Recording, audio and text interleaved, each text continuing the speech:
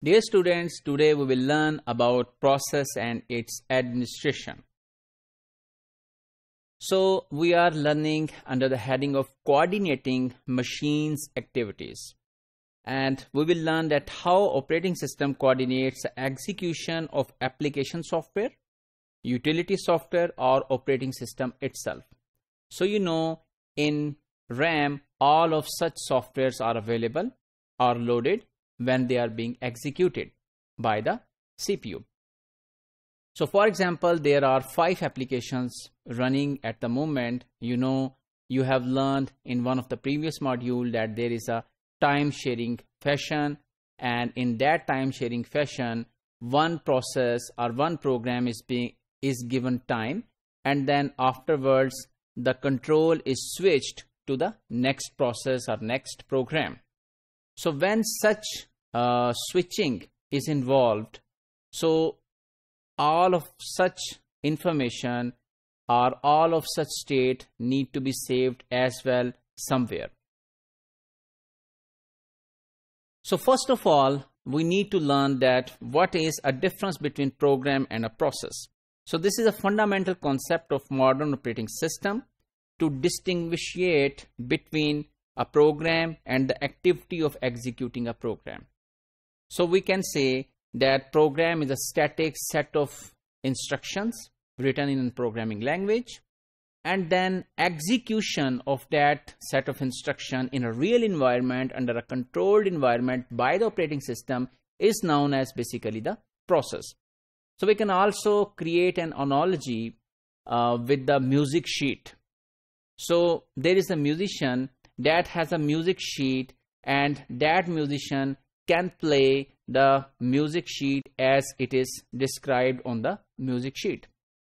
So that static part is can be termed as a program and then when that musician uh, basically performs that music in a real world fashion that activity is known as process so maybe in that particular time musician gives more weightage to some of the strings or some of the music lines more intensity more frequency so such kind of things.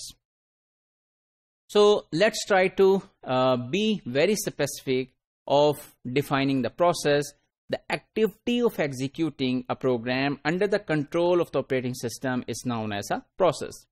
And at that particular uh, stage that process will be associated with a uh, with different kind of activities or status. Those are known as process states.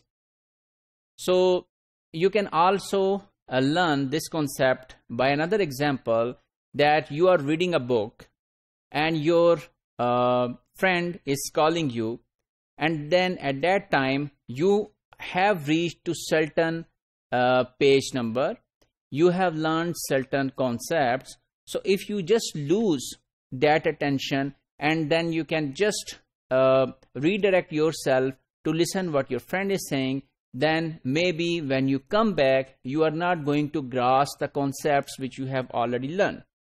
So first of all you need to place a placeholder within that particular uh, book page number and then you might also need to write some of the things that I have read these concepts. And when I will finish talking to my friend I will come back and start reading from this point.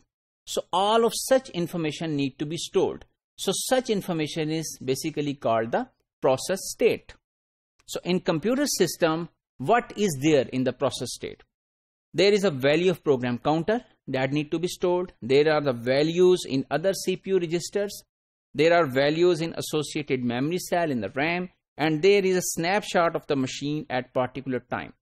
So all of such information need to be stored so that when there is again a switching back to this particular process, we can start this process from the same place where we have left it. So let's summarize today's module we have learned about process and its administration. We have uh, learned the distinction between process and program. and what is process and what are its states that need to be stored before the switching of the process.